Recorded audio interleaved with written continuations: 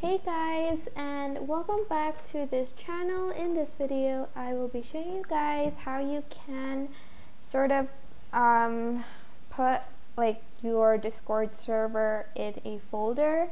So you can do it on your phone too.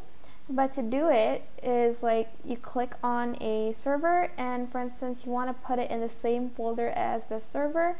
So just drag it and put it on top of it and it's going to be in one folder. But if you want to take it out of the folder, you can do that by selecting it, dragging the folder, sorry, the server out and putting it on top.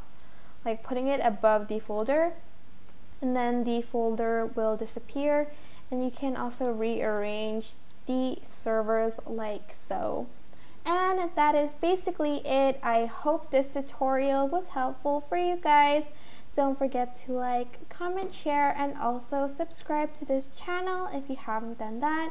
If you have any questions, just leave it in the comment section down below and I will try my best to answer them all. Thank you so much for watching. Bye!